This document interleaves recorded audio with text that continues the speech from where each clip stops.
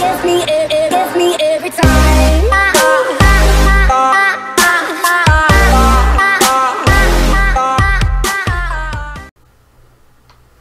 Yo, what's up guys, the Double Danger in today's video, this is how you turn your Xbox One into a dev kit.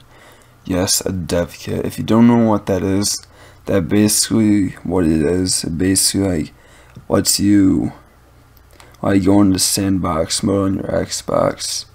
Now it isn't really anything too special, but it's really really cool and not like when I say not a lot, not a lot of people know about this. So, uh, what you need to do for this, you obviously need an Xbox One, and go over here, go over to your settings, go to all settings. Then once you're here, you want to go to the system tab right here. Go to console info and updates, and then my um, bumpers and triggers are really noisy so you might hear them.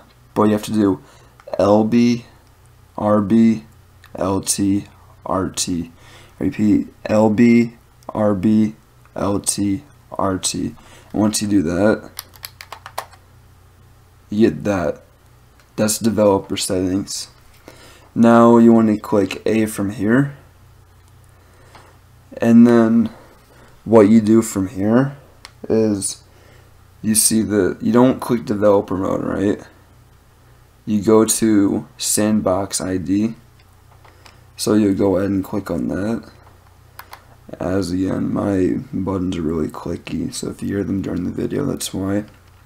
Need X D S K period or dot whatever you want to call it 1 now hit enter and then this should restart your Xbox. Now don't freak out, this is perfectly normal. You just have to go with the flow for this one. Alright, now that my Xbox has restarted, it's going to boot up like the normal Xbox One. It's going to have the same loading screen and everything. But, look what happens when I go into it. Just wait for it still loading. I don't want to cut this part out because I don't want it to like look like I'm faking or anything. I will cut the other part out because my Xbox did have to restart, so my recording did like have to cut out. But watch. Normally that would be blue for me because my avatar color is blue on my Xbox. But watch what it does. It can't sign me in. See? Now, I'll go over to here. I'll go over to my name. I'll try to sign into it, but it's going to give me a tab. And it's to say right about now. Okay. It's going to say either the account or title can't use the sandbox. Change the sandbox settings in console developer settings or use a different account. This lets you know that you're in sandbox mode on your Xbox One. So basically what this is, you can basically do all this stuff, but you cannot like get into like your parties, your friends or anything. All that is like straight blocked off. See that? and then you go over here you can't do anything here you can't do anything here this is straight sandbox mode now you really like can't do anything in this mode it kind of sucks but it's a really cool thing you can do with your Xbox One now if you want to change it back uh, well the sad thing is you can't change it back you're stuck like this forever no, I'm just messing with it um, in order to change it back, you need to go back to all settings. And then once you go back to all settings, go under the system tab, go to console info and updates. As again, LB, RB, LT, RT. Like this. You click developer settings. Now you see your sandbox's ID is still in here and it says right there I didn't know if you saw this at the beginning of the video, but if you see certificate type like above the keyboard, that usually says like just retail whatever. This says retail dev kit.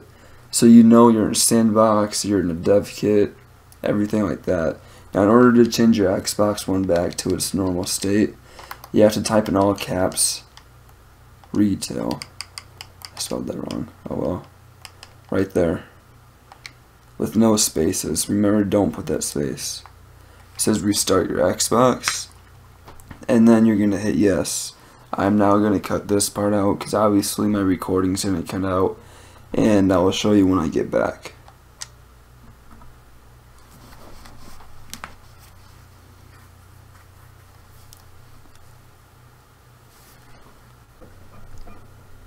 Alright, so now I'm back on my Xbox. And um as again, I'm not going to cut this part so I don't want to like making it look like I faked it or anything. And it's just gonna load up normally. And I do want to say the developer mode that one tab I told you not to click on that in order to like um developer mode basically what it is it lets you make games and apps on your Xbox One I think I might have said that for the dev kit I don't know that's not what the dev kit is though sorry if I said it, it was but um dev kit is just basically sandbox mode and whatnot. It's just like a little cool feature. Now, if I let me turn my controller on first. Okay, my console just restarted. If I went all the way back to my settings, went back to all settings, and then once I got here, you would go back to your system console and phone updates. You'd do the same exact thing. Once you do that, see it says this. And I don't know why that still says retail dev kit. That's kind of puzzling to me. But uh, anyways, I didn't say it before.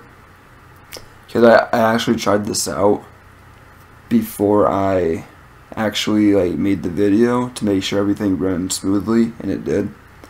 But anyways, you see developer mode. If I wish to continue that, it wouldn't let me. See? Make sure you're connected to the internet, still a problem, that stuff. Now it said we can't authorize your console. In order to authorize your console to get to developer mode, you have to like contact Microsoft, you have to like set your console up and you have to do all that stuff. Now I'm not about to do all that stuff, so yeah. But I hope you guys did find this, I guess you can call it a little Easter egg cool. And if you want me to make more videos like this, go ahead. I'm going to stick to gaming. But if you want to make like more Easter egg and console and just stuff like that, uh, let me know down in the comments. And I'll see you in the next video.